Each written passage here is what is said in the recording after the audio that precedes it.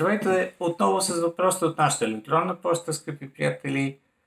И сега поглеждам към една много интересна тема, далеч от всичко това, което се случва с Формула 1 напоследък, бих казал и в последните години. Денислав Давидков се интересува от това, кое е според мен най-красивата кола, правена някога в историята на Формула 1, чисто естетически погледнато.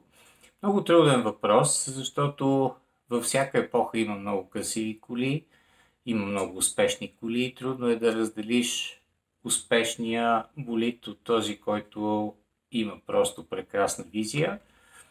Наистина ми е трудно, но все пак, може би по разделени по епохи бих казал няколко изключителни автомобила – Първият е Мазарати 250F, един автомобил от 50-те години, с който прино Хуан Мануел Фанчо печели на Нюрбуркинг една легендарна победа. Много красива кола с така удължена класическа форма на пура от а, първото десетилетие от историята на Формула 1.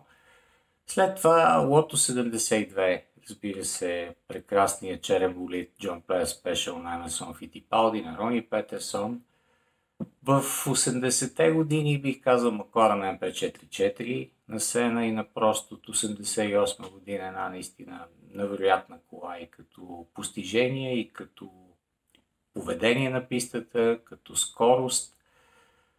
По-натам в годините, в по-съвременната епоха, може би бих отличил Бенетона на Шумахер от 1992 година, много интересно конструиран автомобил, много вълнуващ автомобил, според мен, с този много високо вдигнат напред нос, разработен от Жан-Клод Мижо още с Тирел в началото на десетилетието, но действително трудно човек може да отличи като красота, като оформление, може би на цветовете,